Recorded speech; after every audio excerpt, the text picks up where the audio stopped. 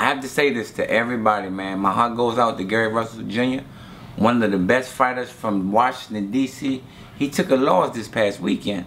and I'm kind of surprised in what I've seen in Gary. Um, I, I, I want to say this, and I'm not I'm not bad mouthing Gary. I'm not downgrading Gary. Gary Gary Gary Russell is still one of the best fighters to ever come out of this area already. His career nowhere near over, and I'm still saying that. But I would definitely say this: on that level of fighting, you have to have gears. You have to have different gears um, that, that, that, that you have going into the fight. I, I only seen one gear when Gary fought last weekend. Um, if that doesn't work, you have to have another game plan.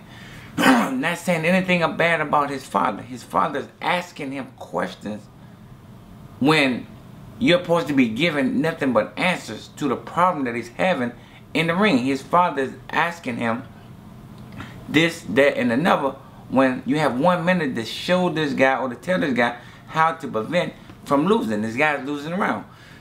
he is saying to his son, Big Gary, you know I love you to death.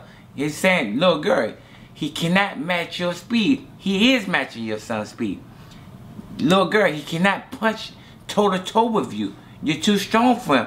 He's not. You're seeing it just like I'm seeing it. The guy's just as fast. The guy's punching just as hard. He's losing the fight.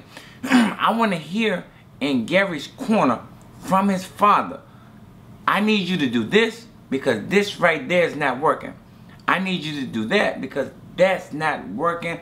And I need you to change everything that you're doing that's not working, that worked in the gym, that's not working in this fight, because this is for a world title.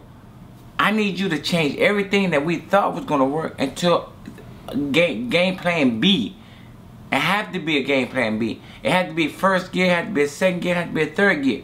If you're going in there, and, and I've trained, I've been on that level, I've trained. And if I'm fighting a guy, and if I'm boxing, my boxing ability isn't working, I'm going to go in there and try to bang with him.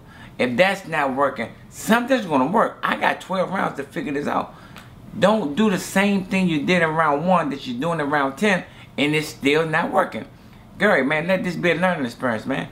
Hey, I'm a big brother to you for life, man. This Derrell Coley, I'm out.